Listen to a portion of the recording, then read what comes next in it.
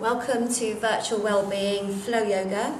So you're doing that today with me, Teri Lynn Embley, and this session is for you if you've already checked out the first video, the how-to video with a little bit more explanation, or if you've done yoga with me before, because this session is going to flow, we're going to do it together, so there's not quite so much instructing and it all flows together. There'll be some yoga nidra at the end, so deep relaxation. And the first thing we're going to do is just make a quick connection with our breath and our core and be really self-aware. Okay, enjoy. Join me on your mat, please. Feet together in Tadasana. Be strong in your posture. As you focus on breath, relax your face and soften down as you exhale.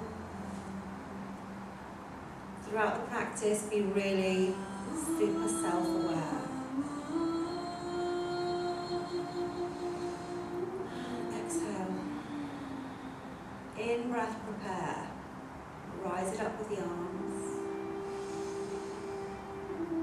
Press the palms together, activate the chest muscles and activate, activate Mula Bandha, that's your pelvic lift. And let's do two more. In breath. Exhale. So you're connecting with your pelvic floor. Pull your belly button back so you're activating your transverse abdominis. Last one, in breath.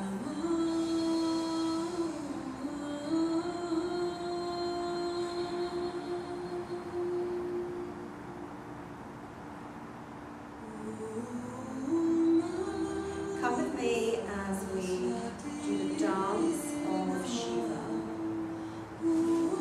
So with minimal movement or disruption to the pelvic area, we are going to lift right knee, then left knee.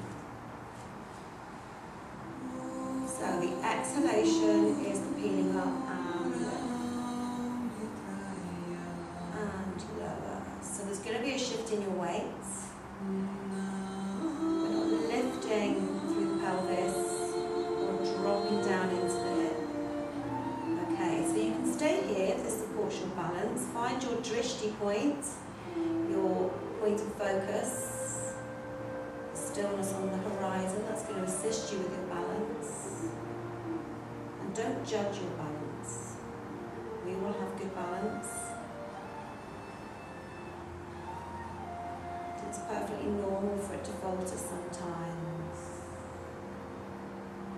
Okay, in addition, you may progress with opposite arm and opposite leg. You're going to take your arms through your full range of motion at your shoulder. Avoid lifting the shoulders themselves. And again, in addition, we're going to progress this with a rotation.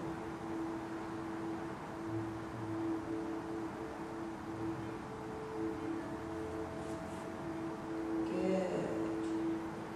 So from the side, this is what you'll be looking like.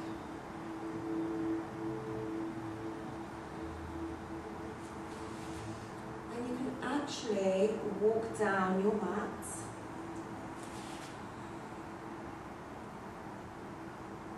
And turn at the end and walk back. Anytime you want to leave out the rotation or leave out the arm movements, completely up to you. And prepare for hold.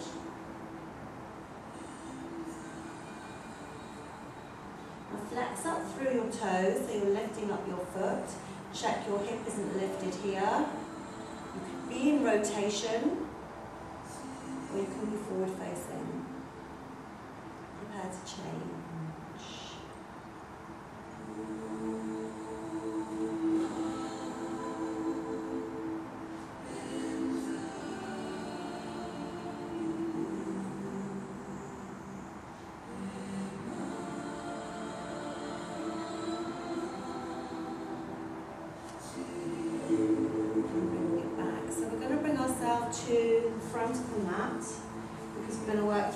Surya Namaskar, which will progress.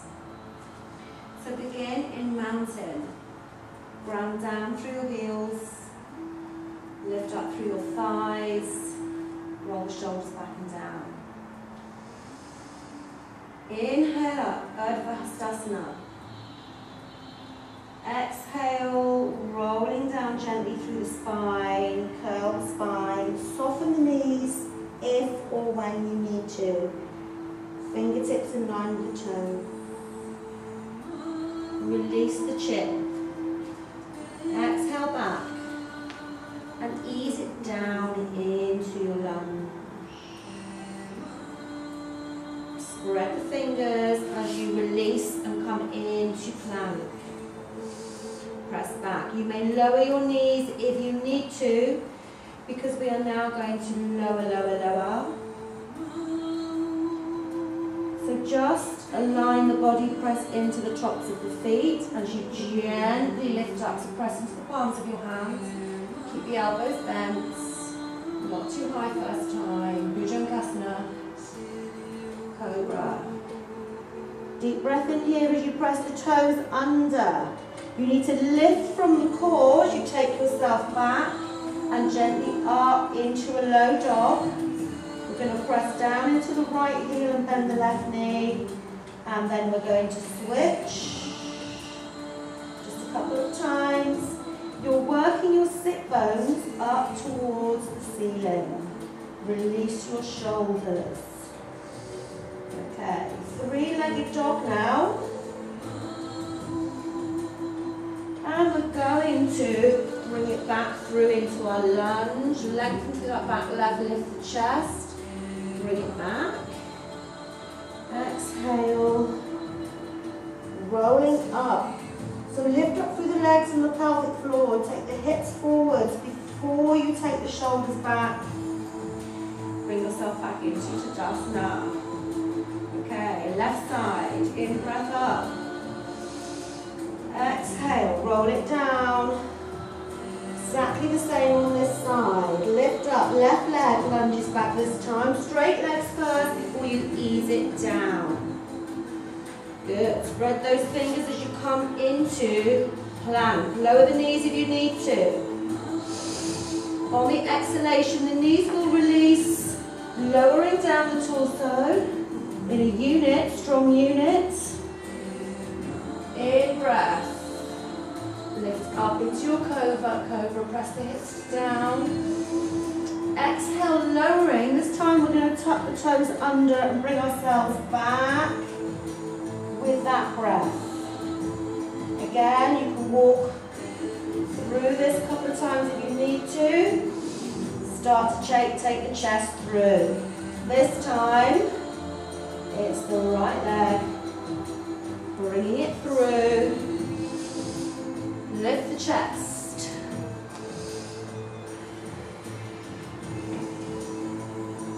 Unroll. Up we go again, right side.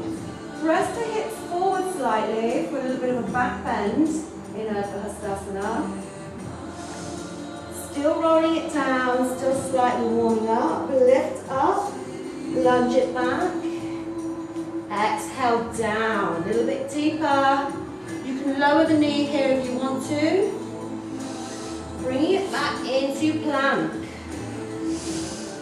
Starting to progress this, come up on the toes and lowering yourself through Chaturanga Dandasana.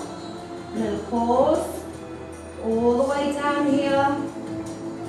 The in-breath is going to lift us up. Start to come higher, but the elbows always stay bent. Do not compress the neck at the back. So, exhale is down and up into downward facing dog. That one breath takes us through both. Bring it into. Come through into lunge.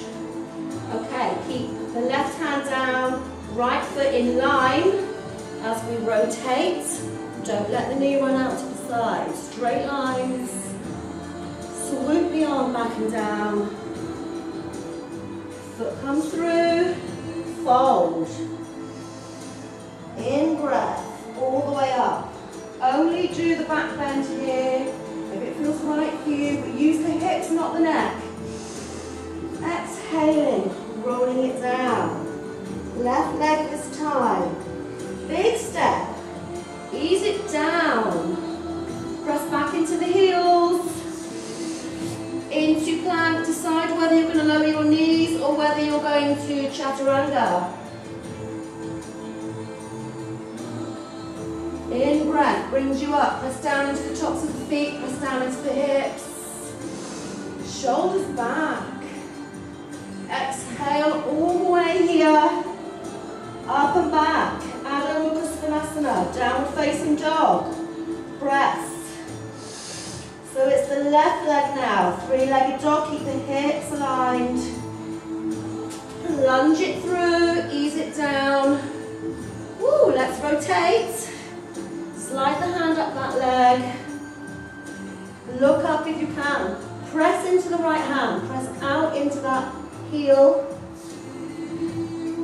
Swoop the hand down. We're progressing here. Rolling it up. Nice deep breathing, Ardha with or without back bend. Option here too, lead with the heart as you dive down. Tuck the chin, look through the legs. Lift it up. Take it back. Ease it down. Good. We can lift up now. Place the hands back down as we come back into our plank. Options to lower the knees, remember. Or Chaturanga Dandasana. Lowering down, breathing in. We'll come a little higher each time, but you be the gauge.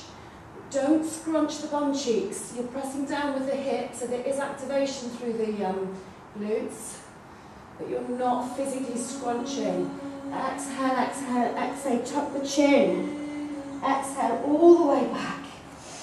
Good, well done. Let's go for the three-legged dog here.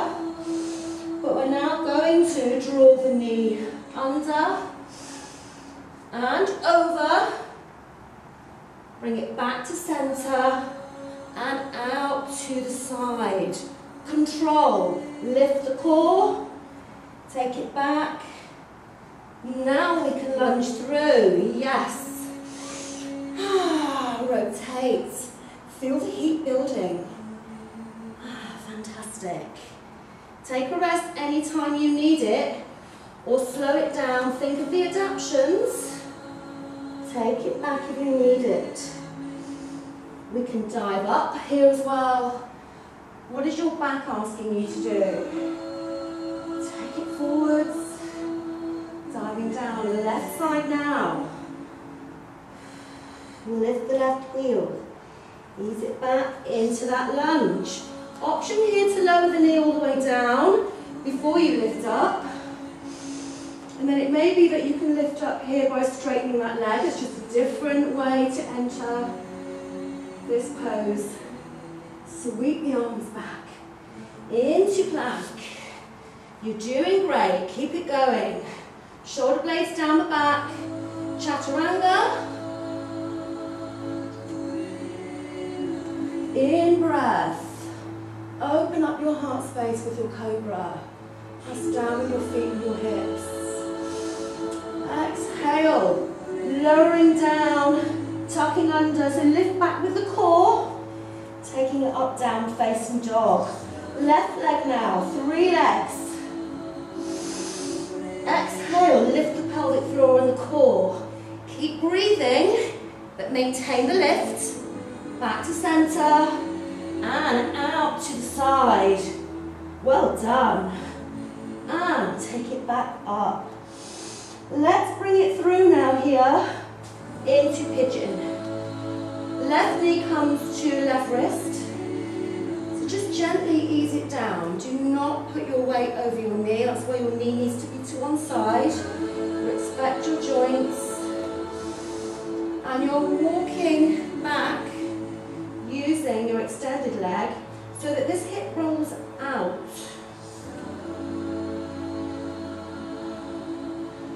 So ease it. Gently. Keep both hip bones facing forwards. Feel the stretch go down the outside thigh into the hip. Stretching those deep muscles, glutes, piriformis. Ease it, release. Lower your body weight down as you progress. Slow the breath down. Sink down into the mat.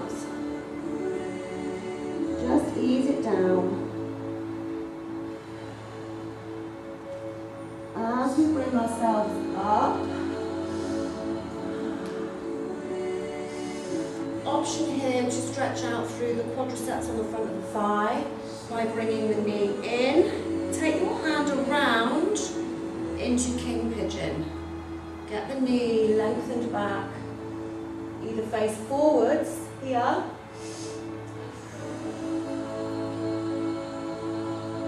Or you can keep looking around. Take yourself onto your side here. We bring ourselves into a side plank. Bringing it back.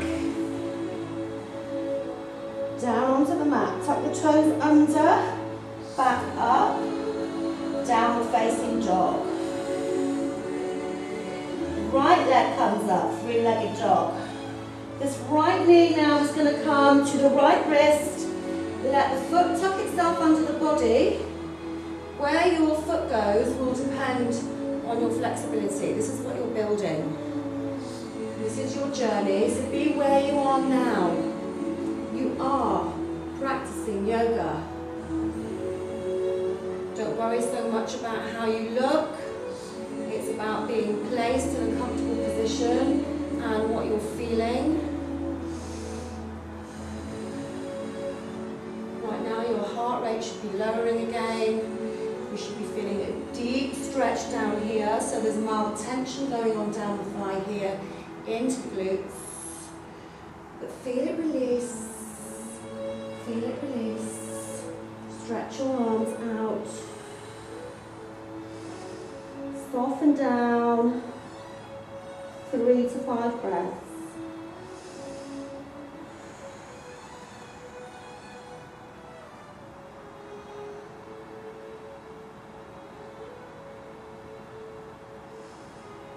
Walk the hands back. Think about whether or not you want to go into king pigeon.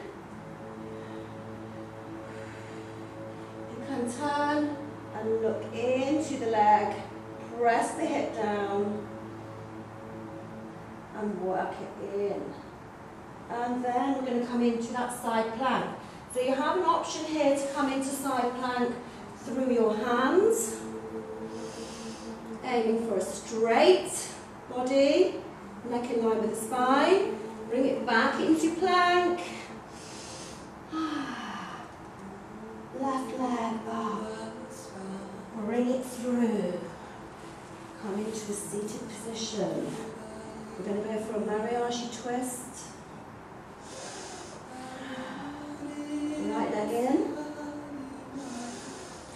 Stay here or you can take it to the next stage over the leg. Opposite hand is going to pull that knee towards you and you're going to take your hand to the back to support to help you lift. You can go further. You know where you can go.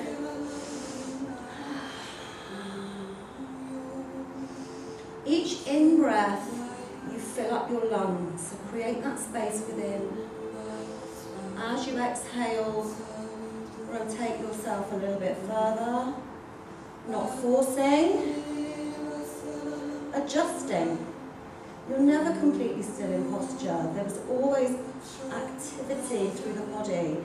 Scan your body, how does it feel? Take your breath where you wish it to go.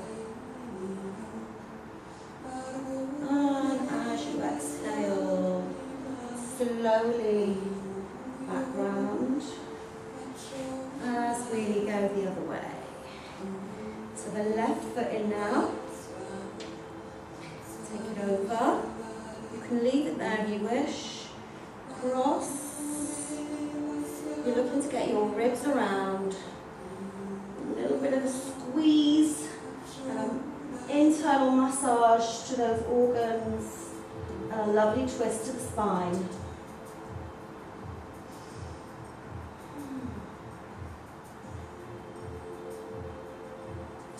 Five breaths if you can. Exhaling it around. Well done. Just going to come into boat pose.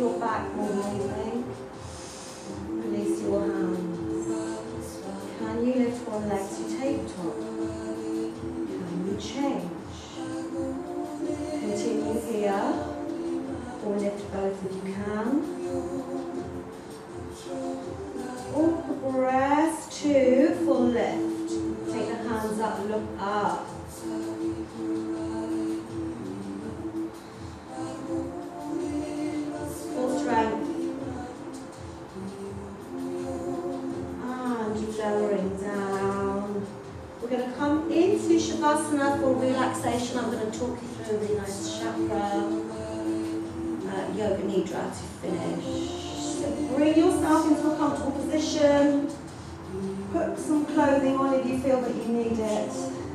Shavasana.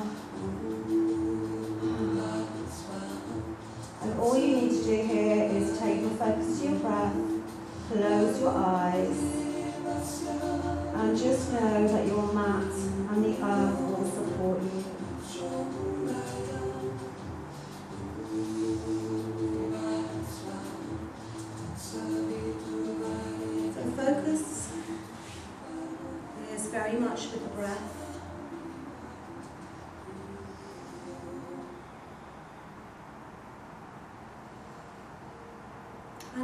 else to think about other than how you feel.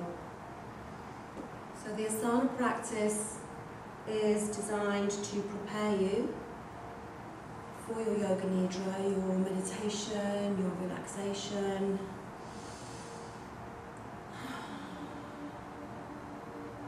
And as you lie here, just thinking breath. As you take your breath deep down into your lungs. Not forcing it, but with intention. And the intention is to nourish the body